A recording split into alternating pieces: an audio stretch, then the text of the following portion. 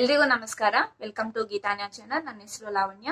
ಇವತ್ತಿನ ವಿಡಿಯೋಲಿ ಏರ್ ಫಾಲ್ಗೆ ಗೆ ಮತ್ತೆ ಸ್ಪ್ಲಿಟರ್ಸ್ಗೆಲ್ಲ ಒಂದು ಬೆಟರ್ ಸೊಲ್ಯೂಷನ್ ಹೇಳ್ತೀನಿ. ನಿಮ್ಗೆ ಏನಾದ್ರು ಆ ರೀತಿ ಪ್ರಾಬ್ಲಮ್ ಇದ್ರೆ ಈ ವಿಡಿಯೋನ ಸ್ಕಿಪ್ ಮಾಡಿದ್ರೆ ಖಂಡಿತ ನೋಡ್ಲೇಬೇಕು. ಅದನ್ನ ಯಾವ ರೀತಿ ಪ್ರಿಪೇರ್ ಮಾಡ್ಕೊಳ್ಬೇಕು ಮತ್ತೆ ಅದಕ್ಕೆ ಏನೇನ್ ಬೇಕು ಅಂತ ಎಲ್ಲ ಕ್ಲಿಯರ್ ಆಗಿ ವಿಡಿಯೋಲಿ ಮೆನ್ಷನ್ ಮಾಡಿರ್ತೀನಿ. ಸೊ ಅದಕ್ಕೂ ಮುಂಚೆ ನೀವೇನು ನಮ್ಮ ಚಾನಲ್ಗೆ ಸಬ್ಸ್ಕ್ರೈಬ್ ಮಾಡ್ಕೊಂಡಿಲ್ಲ ಅಂದ್ರೆ ಈ ಕೂಡಲೇ ಸಬ್ಸ್ಕ್ರೈಬ್ ಮಾಡ್ಕೊಳ್ಳಿ. ಮತ್ತೆ ನಮ್ಮ ಎಲ್ಲ ಲೇಟೆಸ್ಟ್ ವಿಡಿಯೋಸ್ ಅಪ್ಡೇಟ್ಸ್ಗಾಗಿ ಬೆಲ್ ಬಟನ್ ಪ್ರೆಸ್ ಮಾಡೋದು ಮರಿಬೇಡಿ. ಸೊ ತಡ ಮಾಡ್ತೀರಾ? Let's get into video ನೋಡಿ, ಮೊದಲಿಗೆ ನಾನಿಲ್ಲಿ ದಾಸವಾಳದ ಹೂವು ಮತ್ತು ದಾಸವಾಳದ ಎಲೆಯನ್ನು ತಗೊಂಡಿದ್ದೀನಿ. ಇದರಿಂದ ಹೇರ್ ತುಂಬ ಸಾಫ್ಟ್ ಆಗುತ್ತೆ. ಮತ್ತು ತುಳಸಿ ಎಲೆಯನ್ನು ತಗೊಂಡಿದ್ದೀನಿ. ಒಂದು ಅಲೋವೆರಾ, ಒಂದು ಚಿಕ್ಕ ಅಲೋವೆರಾನ ಈ ರೀತಿ ಪೀಸಸ್ ಆಗಿ ಕಟ್ ಮಾಡಿ ಇಟ್ಕೊಂಡಿದ್ದೀನಿ.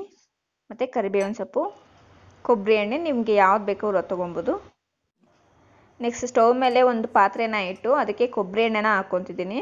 ನೀವು ಎಣ್ಣೆ ಎಷ್ಟು ಮಾಡ್ಕೊತೀರಾ ಅಂತ ನೋಡಿಕೊಂಡು ಪಾತ್ರೆ ಸೈಜನ್ನು ಡಿಸೈಡ್ ಮಾಡ್ಕೊಳ್ಳಿ. ಕೊಬ್ಬರಿ ಎಣ್ಣೆ ಫುಲ್ಲು ಹಾಕಿದಾಯಿತು ಇದಕ್ಕೆ ನಾನು ಅಡ್ಲೆಣ್ಣೆನೂ ಸಹ ಸ್ವಲ್ಪ ಬೆರೆಸ್ತೀನಿ. ಇದು ಆಪ್ಷನಲ್ ನಿಮಗೆ ಇಷ್ಟ ಆದರೆ ಮಾತ್ರನೇ ಹಾಕ್ಕೊಳ್ಳಿ. ಇಲ್ಲಾಂದರೆ ಬರೀ ಕೊಬ್ಬರಿ ಎಣ್ಣೆಗೆ ಮಾತ್ರ ಮಾಡ್ಕೊಳ್ಬೋದು.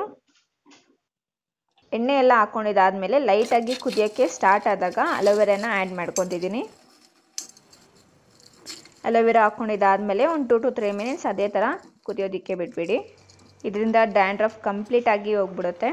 ಡೈರೆಕ್ಟಾಗಿ ಅಲೋವೆರಾ ಹಚ್ಕೊಳ್ಳೋಕ್ಕೆ ಆಗಲ್ಲ ಅನ್ನೋರು ಈ ರೀತಿ ಯೂಸ್ ಮಾಡ್ಕೊಳ್ಬೋದು ನೆಕ್ಸ್ಟ್ ತುಳಸಿಯನ್ನ ಆ್ಯಡ್ ಮಾಡ್ಕೊತೀನಿ ಇದರಿಂದ ಹೇರ್ ತುಂಬ ಸ್ಟ್ರಾಂಗ್ ಆಗಿರುತ್ತೆ. ಅದರಿಂದ ಹೇರ್ ಫಾಲ್ ಆಗೋದು ತುಂಬಾ ಕಡಿಮೆ ಆಗುತ್ತೆ. ಹೇರ್ ಫಾಲ್ ತುಂಬಾ ಆಗ್ತಿದೆ ಅನ್ನೋರು ಖಂಡಿತ ಈ ತುಳಸಿ ಎಲೆನ ಈ ರೆಮಿಡಿಗೆ ಯೂಸ್ ಮಾಡಲೇಬೇಕು.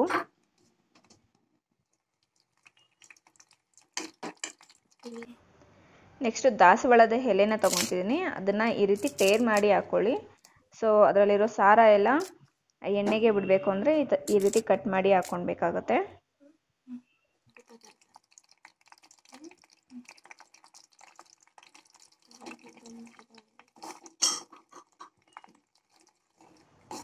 ಹಾಗೆಯೇ ದಾಸವಾಳದ ಹೂವನ್ನು ಸಹ ಹಾಕ್ಕೊತಿದ್ದೀನಿ ಇನ್ನು ವೈಟ್ ದಾಸವಾಳ ಇದ್ದರೆ ಇನ್ನೂ ಒಳ್ಳೆಯದು ಅದನ್ನು ತುಂಬಾ ಎಫೆಕ್ಟಿವ್ ಆಗಿ ವರ್ಕ್ ಮಾಡುತ್ತೆ. ಈ ಎರಡು ಇಂಗ್ರೀಡಿಯೆಂಟ್ಸಿಂದ ದಾಸವಾಳದ ಎಲೆ ಮತ್ತು ಹೂವಿಂದ ನಿಮ್ಮ ಹೇರ್ ತುಂಬ ನರಿಶ್ ಆಗಿ ಕಾಣಿಸುತ್ತೆ, ಮತ್ತು ತುಂಬ ಸ್ಮೂತಾಗಿ ಇರುತ್ತೆ.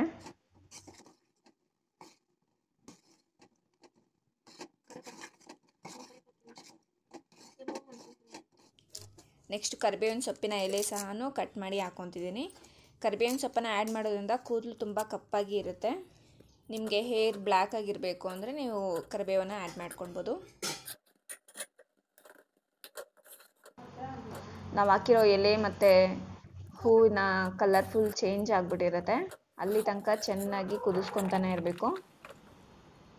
ನೋಡಿ, ಒಂದು ಫಿಫ್ಟೀನ್ ಮಿನಿಟ್ಸ್ ಕುದಿಸ್ಕೊಂಡಿದ್ದಾದಮೇಲೆ ಯಾವ ರೀತಿ ಚೇಂಜ್ ಆಗಿದೆ ಅಂತ ದಾಸವಾಳದ್ದು ಹೂವು ಸಹ ಫುಲ್ ಬ್ರೌನ್ ಕಲರ್ ಆಗೋಗಿದೆ ಅಲ್ಲಿ ತನಕ ನೀವು ಚೆನ್ನಾಗಿ ಕುದಿಸ್ಕೊಳ್ಬೇಕಾಗುತ್ತೆ ಈಗ ಸ್ಟವ್ ಆಫ್ ಮಾಡಿಕೊಂಡು ತಣ್ಣಗಾಗೋದಕ್ಕೆ ಬಿಡಬೇಕು. ತಣ್ಣಗಾದ್ಮೇಲೆ ಅದನ್ನು ಒಂದು ಬೌಲ್ಗೆ ಶಿಫ್ಟ್ ಮಾಡ್ಕೊಳ್ಬೋದು.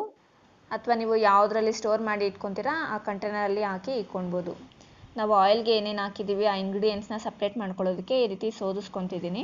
ಅದು ಕೊನೆಯಲ್ಲಿ ಉಳಿದಿರುತ್ತಲ್ವಾ, ಎಲೆಗಳು ಮತ್ತು ಅಲೋವೆರಾ ಹೂವು ಎಲ್ಲ, ಅದನ್ನು ಸಹ ಏನು ವೇಸ್ಟ್ ಮಾಡೋ ಅಷ್ಟಿಲ್ಲ. ಅದನ್ನು ಫುಲ್ಲು ಚೆನ್ನಾಗಿ ಗ್ರೈಂಡ್ ಮಾಡಿಕೊಂಡು ಹೇರ್ ಪ್ಯಾಕ್ ಸಹ ಹಾಕ್ಕೊಳ್ಬೋದು. ಈಗ ಪ್ರಿಪೇರ್ ಮಾಡ್ಕೊಂಡಿರೋ ಆಯಿಲ್ ಯಾವ ರೀತಿ ಯೂಸ್ ಮಾಡಬೇಕು ಅಂದರೆ, ಸ್ನಾನ ಮಾಡೋಕ್ಕೂ ಮುಂಚೆ ದಿನಾನೇ ನೀವು ಚೆನ್ನಾಗಿ ಹೇರ್ಗೆ ಆಯಿಲ್ ಎಲ್ಲ ಅಪ್ಲೈ ಮಾಡಬೇಕು. ಅದಾದಮೇಲೆ ನೆಕ್ಸ್ಟ್ ಡೇ ನೀವು ಹೆಡ್ ಬಾತ್ ಮಾಡ್ಕೊಳ್ಬೋದು. ಡ್ಯಾಂಡ್ರಫ್ ಬರೋದಕ್ಕೆ ಮೇನ್ ರೀಸನ್ ಏನಂದರೆ ತಲೆ ಫುಲ್ಲು ಡ್ರೈ ಆಗಿರೋದು. ತಲೆಗೇನು ಎಣ್ಣೆ ಇದ್ದೀರಾ ಕಂಟಿನ್ಯೂಸ್ ಆಗಿ ತಲೆಗೆ ಸ್ನಾನ ಮಾಡ್ತಾ ಹೋದರೆ ಡ್ಯಾಂಡ್ರಫ್ ಫಾರ್ಮ್ ಆಗುತ್ತೆ. ಅಂದರೆ ಸ್ಕಿನ್ ಮೇಲಿರೋ ಔಟರ್ ಲೇಯರ್ ಫುಲ್ಲೂ ಇದೊಳ್ಳಕ್ಕೆ ಸ್ಟಾರ್ಟ್ ಆಗುತ್ತೆ. ಅದನ್ನೇ ಡ್ಯಾಂಡ್ರಫ್ ಅಂತ ಕರೆಯೋದು. ಡ್ಯಾಂಡ್ರಫ್ ಜಾಸ್ತಿ ಆದಷ್ಟು ಏರ್ ಫಾಲು ಸಹ ಜಾಸ್ತಿ ಆಗುತ್ತೆ. ಸೊ ಸ್ನಾನ ಮಾಡೋಕ್ಕೂ ಮುಂಚೆ ನೀವು ಆಯಿಲ್ ಅಪ್ಲೈ ಮಾಡಿಕೊಂಡ್ರೆ ತುಂಬಾ ಒಳ್ಳೆಯದು ನೋಡಿ ಆಯಿಲ್ ಕಲರು ಸಹ ಸ್ಲೈಟಾಗಿ ಚೇಂಜ್ ಆಗಿದೆ. ಸೊ ನೋಡಿದ್ರಲ್ಲ, ಮನೆಯಲ್ಲೇ ಯಾವ ರೀತಿ ಆಯಿಲ್ ಅನ್ನ ಪ್ರಿಪೇರ್ ಮಾಡ್ಕೊಳ್ಳೋದು ಅಂತ ಬರೀ ಮನೇಲಿರೋ ಇಂಗ್ರೀಡಿಯೆಂಟ್ಸ್ನ ಯೂಸ್ ಮಾಡ್ಕೊಂಡು ಸಿಂಪಲ್ ಆಗಿ ಪ್ರಿಪೇರ್ ಮಾಡ್ಕೊಳ್ಬಹುದು ಹಿಂಗೆ ಏರ್ ಫಾಲ್ಸ್ ಸ್ಪ್ಲಿಟರ್ಸ್ ಎಲ್ಲ ತುಂಬಾನೇ ಕಡಿಮೆ ಆಗುತ್ತೆ. ಡ್ಯಾಂಡ್ರಫ್ ಸಹ ತುಂಬಾನೇ ಕಡಿಮೆ ಆಗುತ್ತೆ. ಸೊ ನೀವು ಸಹ ಇದನ್ನ ರೆಗ್ಯುಲರ್ ಆಗಿ ಯೂಸ್ ಮಾಡೋಂಗಿದ್ರೆ ಒಂದು ಬೆಟರ್ ರಿಸಲ್ಟ್ ಅನ್ನ ನೋಡ್ತೀರಾ? ಈ ವಿಡಿಯೋ ನಿಮ್ಗೆ ಇಷ್ಟವಾಗಿದ್ರೆ please like comment share thanks for watching